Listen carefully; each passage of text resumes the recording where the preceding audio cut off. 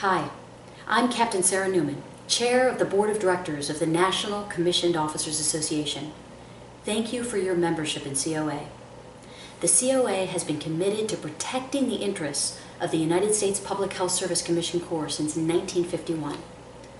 We now have a new executive director, Colonel Jim Curry. Jim brings a renewed focus on government relations, and he is committed to telling the story of the Commission Corps to members of Congress, to the administration, and to new partners who are also dedicated to improving our public's health. Our big event is the USPHS Symposium, which takes place this year in Atlanta, Georgia, on the week of May 18th. Please mark off your calendars for that week. Also, now's the time to renew your membership to COA.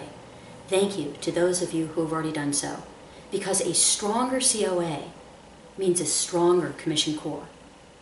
This year, the Board of Directors will be focusing on revising the strategic plan for COA from 2015 through 2019. We need and value your input. For example, we'd like to know, what are your needs? What are activities that COA should be focusing on in the future? And what should we focus less on and what should we focus more on? Friends and colleagues, it is an honor to help lead your association. I urge you to get involved and to have your voice heard. Thank you.